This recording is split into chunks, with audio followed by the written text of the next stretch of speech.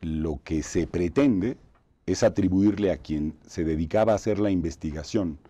del caso Duarte, del caso Zafiro, que tiene toda una cadena. ¿Y, la nómina eh, y la nómina secreta que está vinculado a la gobernadora del estado. El que hoy persigan al, al, que estaba haciendo esa investigación,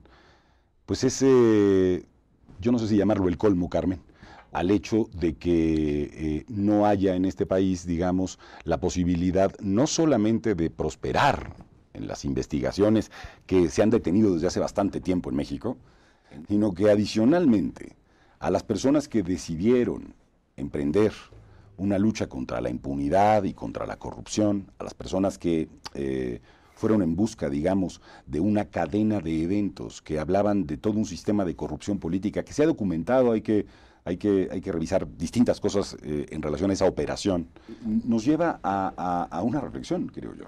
Es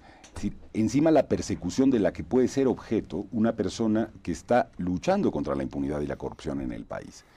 Y eso tiene un paralelo eh, tremendo cuando vemos el asesinato de periodistas,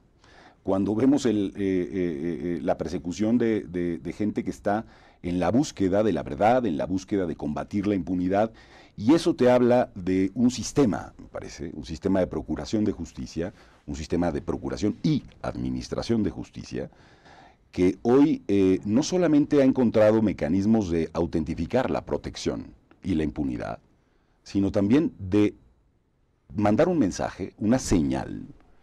de que aquellos que se atrevan, aquellos que se atrevan a levantar la voz, aquellos que se atrevan a hacer una investigación, aquellos que se atrevan a, intentar que en este país las cosas se modifiquen,